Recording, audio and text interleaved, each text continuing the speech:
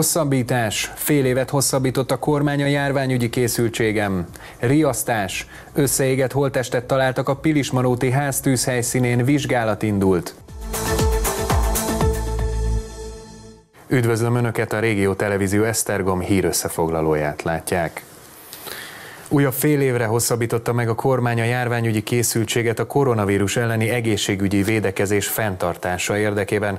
Ezt mondta az Országos Rendőrfőkapitányság szóvivője a koronavírus járvány elleni védekezésért felelős operatív törzs december 16-ai online sajtótájékoztatóján.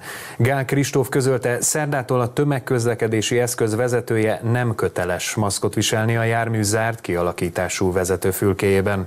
Az utasoknak azonban kötelező a maszk viselése tette hozzá. Az ORFK szóvivőjének tájékoztatása szerint a kormány döntései keddeste megjelentek a magyar közlönyben. A szóvivő ismertette december 15-én a maszkviselési kötelezettség elmulasztása miatt a rendőrök országszerte 183 emberrel szemben intézkedtek. Ez a védelmi intézkedésekről szóló kormányrendelet szeptember 21-i hatályba lépése óta már összesen 13.659 rendőri fellépést jelent. Karácsonyi ajándékkal lepték meg a Tokodaltárói Szociális Lakóotthon munkatársait és lakóit. Völner Pál, a térség országgyűlési képviselője, valamint a település polgármestere adták át a csomagokat. A gesztusért cserébe az otthon lakói is kedveskedtek egy általuk készített naptárral az adományozóknak. Nagy örömmel fogadták Tokodaltáron Völner Pált, a térség országgyűlési képviselőjét, valamint Petrik Józsefet, a település polgármesterét. Mint minden évben, most is pár ajándékkal érkeztek a lakóotthonhoz. Nagyon megható minden évben, amikor gondol ránk államtitkár úr vagy polgármester úr, hogy, hogy itt vagyunk, és, és létezünk, és tényleg jó érzéssel tölt, tölt el minket, illetve a lakóinkat is és a dolgozókat is, ugye, mert tolmácsolom ezeket a jó kívánságokat, amikor valaki ellátogat hozzánk. Völner Pál szerint fontos, hogy felhívják a figyelmet arra, hogy nem csak karácsonykor, hanem az év minden időszakában fontos, hogy figyelemmel kövessék az itt folyó munkát és a gondozottakat is.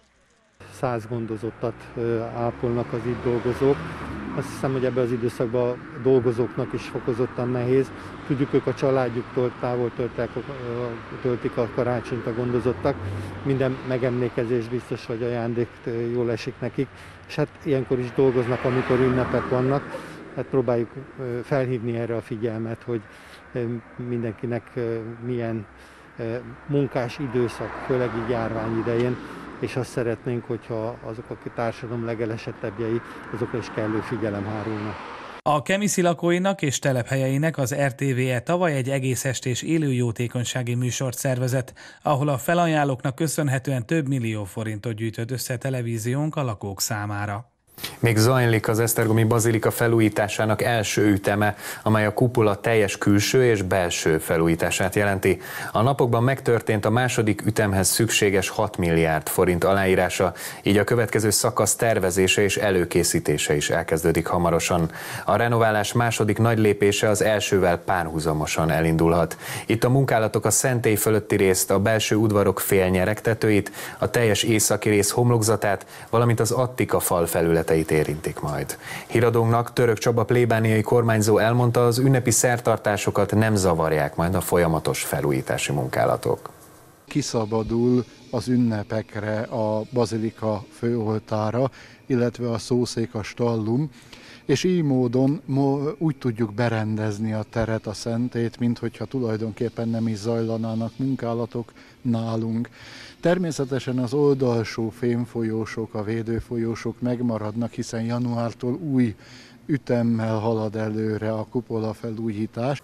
Teljes terjedelmében égett egy csak nem 50 négyzetméter alapterületű épület december 14-én hétfő éjjel Pilis Maróton. Kedden délután a katasztrófavédelem műveleti szolgálatának munkatársai egy elégett holtestet találtak az épületben. Varga Mihály Sebestyén tűzoltó főhadnagy elmondta, hogy a tűzoltók hajnali 2 órakor végeztek az utómunkálatokkal, viszont szemét nem találtak a házban, ezért a műveleti szolgálat munkatársai folytatták a keresést. Az eset kapcsán a katasztrófavédelem tűzvizsgálati eljárást indít, és a rend rendőrség is vizsgálja az ügyet. Kollégáim az ügyben közigazgatási hatósági eljárást kezdeményeztek. A baleset körülményeit és bekövetkezésének okát az Esztergomi rendőrkapitányság szakértők bevonásával vizsgálja. A magyarok több felmérés szerint is karácsonykor fogyasztják a legtöbb halat, és még mindig a ponty a legnépszerűbb. Ezt híradónknak meg is erősítette egy esztergomi kereskedő, aki a helyi Pórantal téren élő halat árusít. Horváth István elmondta, hogy a helyszín is szándékos, mivel itt jobban be lehet tartatni a vásárlókkal a járványügyi szabályokat. A stand december 23-áig várja a vevőket halkínálatával, amelyben a pontja, harcsa és a kárász is megtalálható. Halak somogyból vannak, és a ponynak az átlagos piaci méretét árusítjuk, ami körülbelül másfél kilótól 5 kilósig eh, terjed. Harcsából inkább nagyobbak vannak, de 10 kiló fölötti nem igazán. A járvány első hulláma óta segít a vírushelyzet miatt nehéz helyzetbe kerülőknek a Fidelitas Esztergomi szervezete. A 15 fős csoport folyamatosan bevásárol, gyógyszert vált ki, vagy akár még fát is pakol. Egy idős hölgyhöz érkeztek a megrendelt élelmiszerrel az Esztergomi Fidelitas tagjai. Wolfart Richardné családja nem Esztergomban él, így mostanában csak nehezen tudja megoldani a bevásárlást. Ez nagyon sokat jelent, mert a Krisztiánnak szoktam telefonálni, és akkor ő azonnal csatasorba áll. Köszönöm szépen. A csapattagjai szívesen bevásárolnak, vagy akár kiváltják az egyedül élők gyógyszereit, igyekeznek a legtöbb rászoruló kérését teljesíteni. Híradónknak a szervezet elnöke elmondta, hogy nem csak az esztergomiakon segítenek, hanem a térségben élőkön is. A Fidelitas Esztergomi szervezete fontosnak tartja, hogy a, ebbe a kialakult nehéz helyzetbe is ö, ö, folyamatosan segítsük a, főleg az időseket, de nem csak az időseket, hanem bárkinek, aki éppen arra ö, rászorul. Mint ahogy az első hullámba, ugyanúgy most a vírus második hullámába is próbálunk helytállni, és ott lenni, ahol kell. Amennyiben valaki segítséget szeretne kérni a fiataloktól, az megteheti a 0670 421 2026-os telefonszámon, vagy pedig üzenetben az Esztergomi Fidelitas közösségi oldalán.